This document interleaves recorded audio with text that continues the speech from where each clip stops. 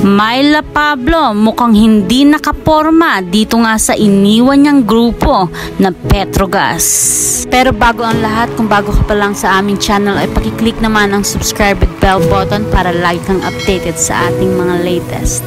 Ayan, welcome back guys. At uh, panalo nga itong Petrogas laban dito sa F2 Logistic. Ano, talagang hindi pina-score nitong uh, Petrogas ang uh, F2 at uh, ika nga ng ating mga netizen ay nilampaso nitong Petrogas ang uh, F2 Logistic. Ano. Hindi rin naman naiwasan ng mga netizen na bantayan ang kilos nitong si uh, Myla Pablo. Ano, dahil alam naman natin na dito nga nang galing si uh, Myla Pablo dati sa Petrogas gas. At marami nga naglagay ng kani-kanilang caption dito nga sa larawan ni MJ Phillips at uh, nitong siya Myla Pablo. May ilang mga netizen na nagkomento na ito nga aurahan daw dito ni Myla Pablo ay uh, mukhang may panghihinayang. Hindi rin naman maiiwasan na mamiss nitong si Pablo ang dati niyang mga kagrupo. Pero pinatunayan naman itong Petrogas na itong si Myla Pablo daw ay hindi kawalan sa kanilang grupo at uh, narito nga ang uh,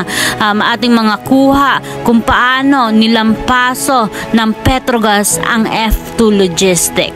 Narito nga at kahit nagpakitang gilas pa rin itong si Pablo ay hindi pa rin ito umubra dito nga sa Petrogas. Yan nga ang akto na nakunan ng kamera na nagkatinginan pa itong si Pablo at uh, si MJ Phillips. Marami nga natuwa dito sa pagkakapanalo ng uh, Petrogas ano at uh, may ilan din namang natuwa dahil sa pagkatalo ng F2 Logistic dahil nga sa pag-aasta daw nitong si uh, Myla Pablo na ito daw ay uh, medyo lumaki na daw ang ulo dahil nga sa mga ibang uh, pagkakapanalo nito sa ibang mga grupo. At ayan, patuloy ko nga po kayong i-update dito sa ating Philippine Volleyball League at uh, kung bago ka pa lang po sa aming channel ay pakiclick naman ang subscribe with bell button para like kang updated sa ating mga latest.